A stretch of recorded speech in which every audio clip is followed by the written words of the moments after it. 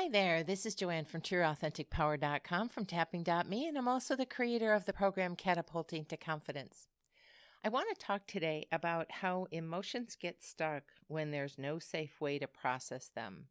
And the intensity of our emotions can go from slight to gigantic and really detrimental and painful. And I think that's one of the things when I hear comments in a lot of groups, there's always a theme of, I can't get going, I'm sabotaging myself, I'm procrastinating, I can't I can't move off the mark. And people just try to keep pushing through that when there probably is some emotion or emotional events or emotions plural that are stuck that say to your mind and body on a subconscious level, I'm not safe. I can't go there. It would be detrimental. That's not conscious, that's subconscious.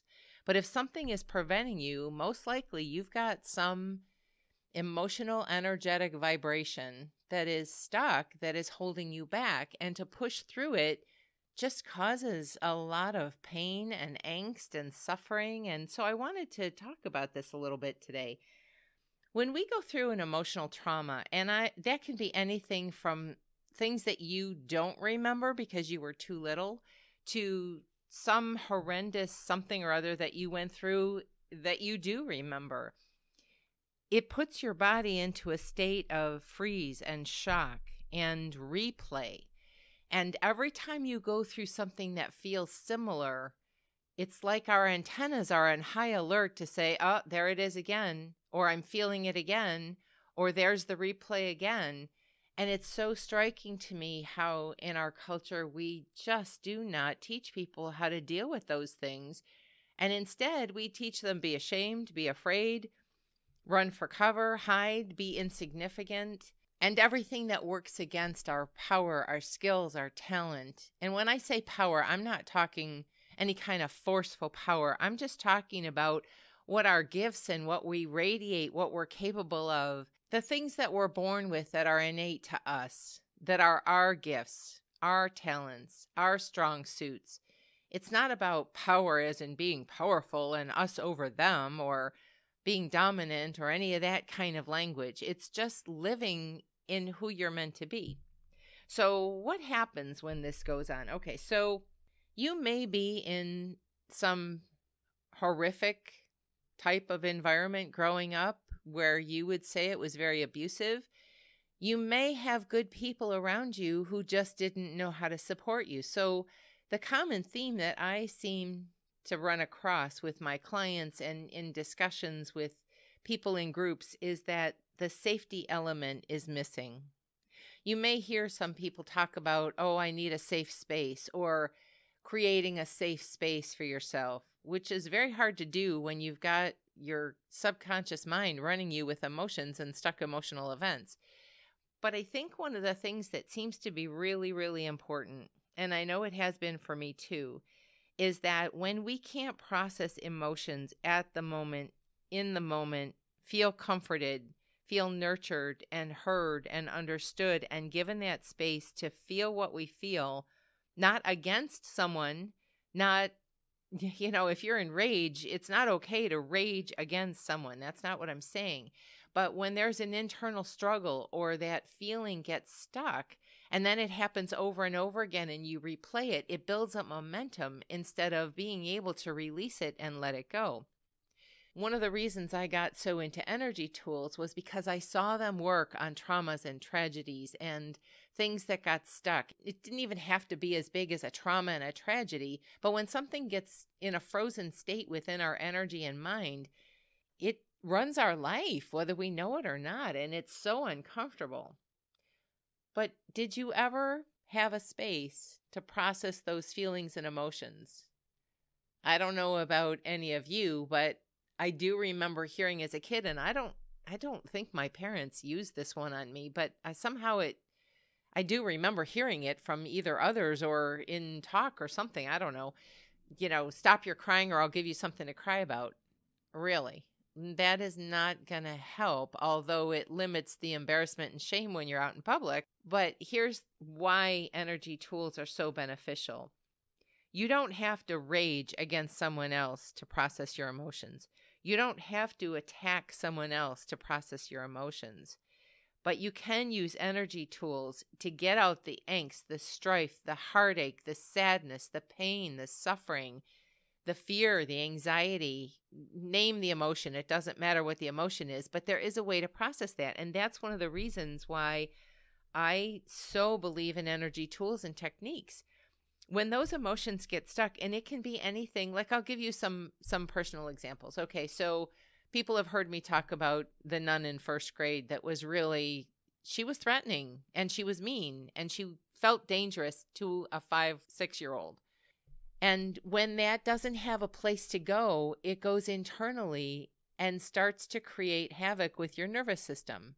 Watch out. Be careful. Be on alert.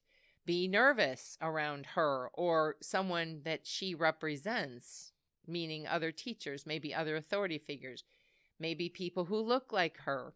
Go to something like, okay, I had my tonsils out. And there's a, I can understand how that was part of the scenario going on back then. But at any rate, um, you know, when you're stifled a lot, your voice doesn't come out and you can develop backed up energy in your energy center of the throat.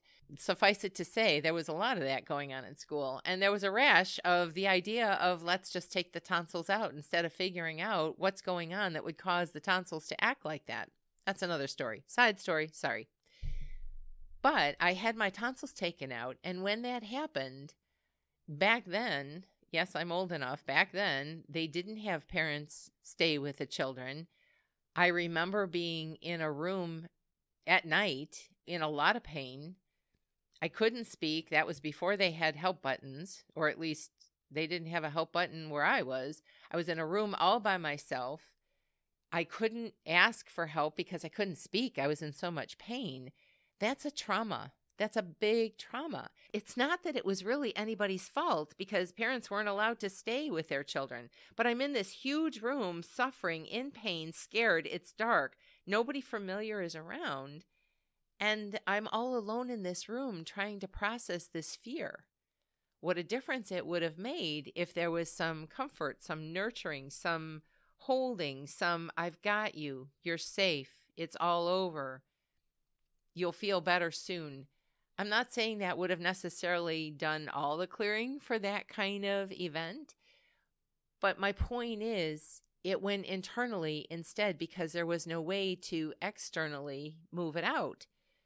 And tapping, energy techniques like tapping, and there are several, that's not the only one, but that's the one I talk about the most because I've seen the most happen with it, not only for people around me, my loved ones, but for clients as well. That's not the only technique, but that's one of them that will move out that fear, that panic, that angst, that hurt, that suffering, that what have you done to me feeling, that no one's around to help me. I'm scared. I'm lonely. It's dark. Or I'm angry that someone has put me into this position. I don't remember feeling that way. I remember feeling very scared.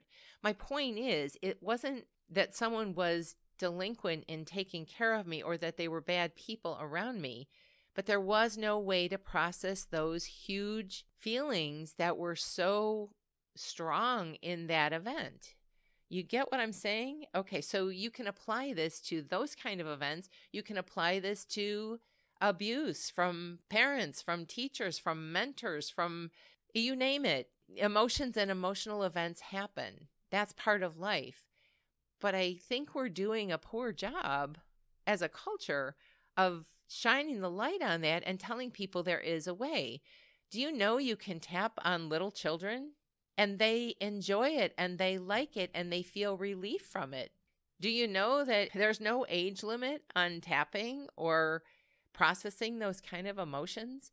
That's why I do these videos because people don't know ways to help process. And they may not even be able to do those things on their own or without some kind of guidance. Internet videos are wonderful, and I've used them too in a pinch. But sometimes you need a little help getting to the undercurrent. The actual tapping technique is easy to learn and use, it's knowing how to use it. And until you know that there's a way to do that, to bring about safety, to bring about nurturing and calmness. Until you know how to do that, it kind of can be a, you know, a swirling, yeah, it's not working. Well, it's not that it's not necessarily working. You've got to know how to get to the emotion and the emotional events underneath. So let me give you some example. If your self-esteem has been injured along the way from put downs or bullying or whatever, the solar plexus area of your body is where your power, where your self-esteem is located, where you feel your power of your self-esteem. It's where your self-confidence is, your self-esteem, your courage, your ambition. And it can be blocked by different patterns or different emotional events or different emotions that have gotten stuck. Now, the wonderful qualities of having a strong solar plexus energy center is happiness, feeling extroverted, feeling spontaneous, the ability to express your emotions. But when you're imbalanced, and that kind of doesn't doesn't resonate. It's it's being blocked. And I just wish so many more people knew about tapping and to use that on any age, from little kids to, you know, people who are at the end stage of life. It can bring such peace and comfort to most people. I'm not going to say across the board, but then again, you have to know how to use it. The common thread that I see, though, is where is the safety?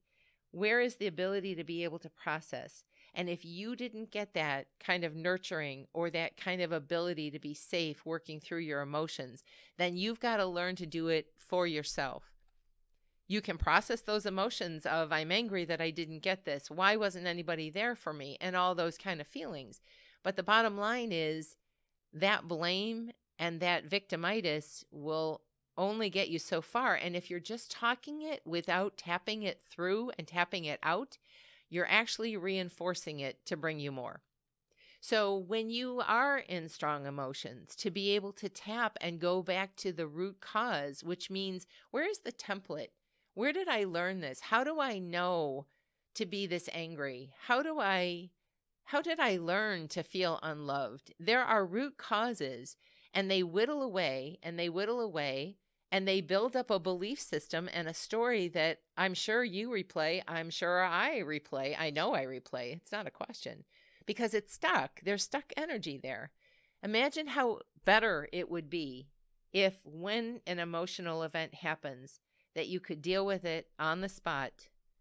Tapping includes using your fingertips on different points, mostly on your head and and your upper torso. You're fully dressed, you have your fingers with you all the time. You have the ability to tap with you all the time.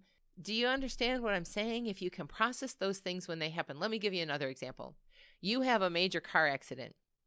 It puts you into a trauma state. You may shake, you may have reactions of shock and trauma from that accident if it's strong enough, or if it catches you in a vulnerable time. And then that keeps replaying. Now you're afraid to drive. Now you're afraid to go certain places. Now you're afraid to drive in that certain kind of weather condition or that time of day or whatever. It's because your energy is stuck. Something has gotten stuck in that moment with the trauma, with the with the accident. And what would be more wonderful than being able to process those emotions at the time so that you don't have a reoccurring fear of driving at a certain time in certain weather conditions that would replay your event. How wonderful it would be to be able to move out the fear, the anxiety, the shock, the trauma, because all of that works on your nervous system to make you anxious. And anytime you're in a situation that feels similar, it will build on the last trauma. That's why so many things just keep replaying, and you think, what the heck? I see that I'm doing this, but how do I fix it? Well, you fix it by figuring out how to move the energy and how to move out the belief and the story before it gets so embedded that it keeps replaying and replaying and replaying.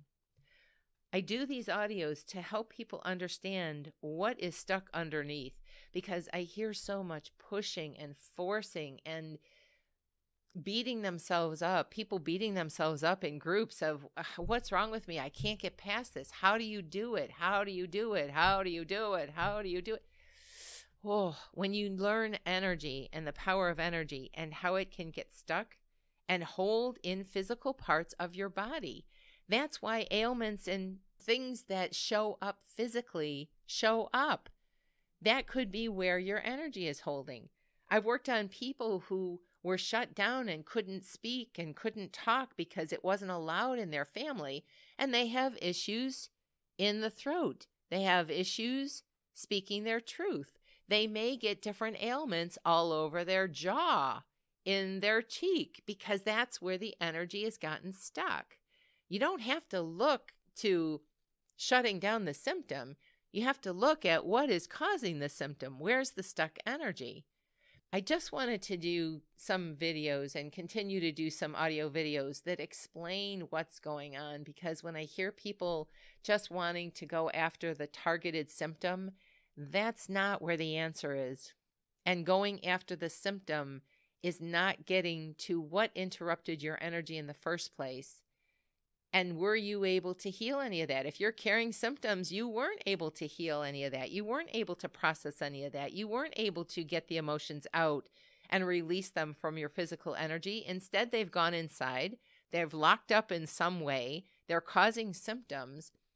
And wouldn't it be lovely if you could undo those symptoms? I've seen that happen so much with clients, so much in my practice, and things that would seem like miracles or unbelievable of you've got to be kidding me. How the heck did that change? How the heck did that find a solution and a resolution? Because it seems unbelievable. And it seems unbelievable because our culture doesn't teach us how to do these things.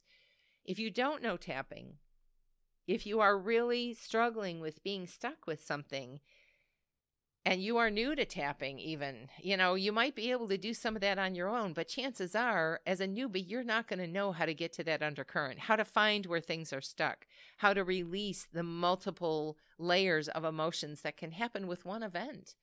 My point is i like doing these audios so that people aren't just going of oh i feel a little anxious let me go you know tap on some anxiety because you can be tapping on anxiety because it's replaying and reoccurring for the rest of your life. What you want to do is get to the undercurrent of when it started, what started the template, what was going on, what are the series of events, and what part of those events has got you in a grip. I hope some of these explanations help because I, I really feel it's such a void in our culture to explain what's going on. And most people don't go to that extent to find out about energy or your vibration or how to process emotions until there's some kind of crisis or illness or something has pushed you over the mark that you can't live with anymore and now you're forced to find a solution. If you could be proactive, learn tapping, the younger the better. The younger you use it, the better you'll be. You know, you don't have to wait until things become such a crisis level. Be proactive learn how to use energy tools and how to process emotions when they happen. Learn how to process why you're stuck. And if you can't do it on your own, which most likely when you're stuck, you're replaying something of a protection. And if that's very difficult to get to your own stuff. I've been doing this since 2009. And when I'm stuck, I'm looking for other things of, okay, what else could it be? What else might I be replaying? And or I will get outside help it's not a shameful thing. It's a, I want to get over this. Can you figure it out? Can you help me get to the root of this? I think that's taking your power back, taking control of your life and saying, no, this is not okay. I don't want to live in this kind of fear and anxiety and tension and worry and, ugh. But I think people get so afraid of their emotions so afraid of revisiting the emotional events. I know that's what prevented me for a long time. I was scared to go near the emotions. But if you're working with a practitioner that knows how to do that, they can take that down without re traumatizing you, without making it so uncomfortably difficult that, holy smokes, it feels like the world is ending when you're revisiting some emotions. No, you don't have to do it that way. And a skilled practitioner or a coach like myself knows how to do that. But we also can figure out how to get to the root causes and when did they start and what was going on and how to process all that. You don't have to suffer. But don't wait until you're in a crisis. Don't wait until you're sick. Don't wait until things go haywire where you have no choice but to figure out what the heck is going on. And then you're in a panic and even more fear. if you can process as you go along, if you can clear out root causes from the past, if you can get to the undercurrent of what's got you stymied and stuck and reliving shock and trauma, oh, life is so much better. I have seen life changes in unbelievable, easy ways once you do that. Once you clear out the old stuff. Once you clear out the template that has you replaying the same old, the same old, the same old. I know you know what I'm talking about because there's not a person that I've met that doesn't have some of those replays going on. Like, what the heck? Why do I keep doing this? As soon as you say that, I'm telling you there's some stuck emotions, some stuck events, something that has got your energy and your subconscious in a grip. Isn't that empowering? That's the reason I do these is to give you some power and some hope. But the rest is up to you, whether you take action, whether you learn tapping, whether you reach out for coaches or help or find out what's going on underneath. My bottom line for you is that I wish you peace and comfort and safety processing your emotions and getting to that peaceful inner feeling so that you can relax and take a deep breath in life and enjoy it instead of being on edge and hyper vigilant or always worried or always. And by the way, a lot of that is learned. And you can unlearn it. Just saying. If you like these kind of audios, if you like this kind of information, sign up on my website. Join my email list so that you'll know when I put things out, when I'm giving new explanations. You can sign up on my YouTube channel. Some things go up there, some things don't. But the point is learn now before you're in crisis, before things fall apart. Be proactive about your life and your emotional health. Tell me, have you had these kind of events happen to you where something afterwards has gotten stuck, or you're replaying, or you're dating the same person just with a different name, or you keep attracting the wrong people or situations, or feelings and emotions keep coming back for where you visit? Do you have any of those kind of things? Everybody does. Share it with us. And until our paths cross again next time, bye bye for now.